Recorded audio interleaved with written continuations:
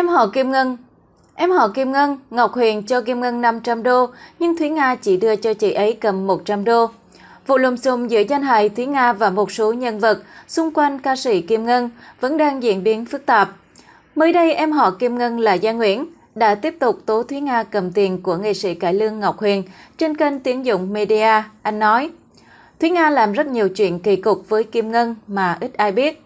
Tôi biết chuyện nghệ sĩ Ngọc Huyền cho Kim Ngân 500 đô, nhưng Thúy Nga chỉ đưa cho chị ấy cầm 100 đô, còn lại giữ lấy.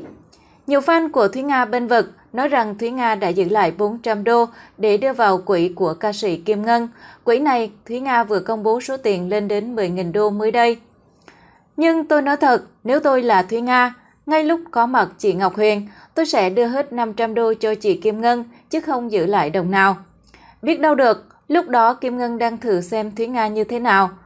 Trước sau gì số tiền đó vẫn là của chị Kim Ngân, nên nếu lúc ấy chị Kim Ngân cần thì cứ đưa hết cho chị ấy. Còn giữ lại 400 đô để đưa vào quỹ 10.000 đô kia làm gì? Một số người lại bảo Thúy Nga không dám đưa cho chị Kim Ngân nhiều tiền vì sợ mất.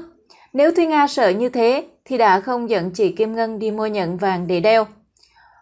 Hôm nọ tôi nghe Thúy Nga nói sẽ trả lại hết 10.000 đô cho các mạnh thường quân hỗ trợ cho chị Kim Ngân. Tôi không biết chị Ngọc Huyền đã nhận lại số tiền của mình hay chưa. Tiếp đó Gia Nguyện đã lên tiếng giải thích về chuyện đưa Kim Ngân đi hát và để thuận tiền quyên góp phía dưới, khiến anh bị khán giả chỉ trích nặng nề. Anh nói, rất nhiều cộng đồng mạng và các youtuber chỉ trích tôi về chuyện lôi Kim Ngân đi hát nhưng lại để thùng tiền quyên góp bên phía dưới. Tôi sẵn sàng mời tất cả những người đó đến văn phòng của tôi, tôi sẽ nói cho mà nghe. Tôi cho địa chỉ luôn. Hôm đó, tôi dẫn chị Kim Ngân tới một nơi gọi là văn phòng sinh hoạt cộng đồng của người Việt tại Mỹ. Tại đó, họ thường ca hát cho nhau nghe. Mục đích của tôi là để cho chị Kim Ngân được hòa nhập với mọi người. Việc chị Kim Ngân lên hát là hoàn toàn tình cờ.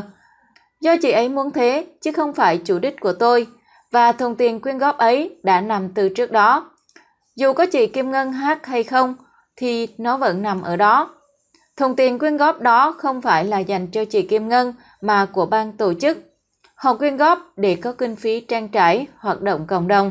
Chị Kim Ngân chỉ tình cờ lên hát thôi. Thế mà không hiểu sao, họ lại nói tôi dẫn chị Kim Ngân đi ăn mày, bắt chị ấy đi ca hát để xin tiền mọi người. Họ ác ý nên cố tình bẻ cong câu chuyện từ tốt đẹp đã thành giả mang.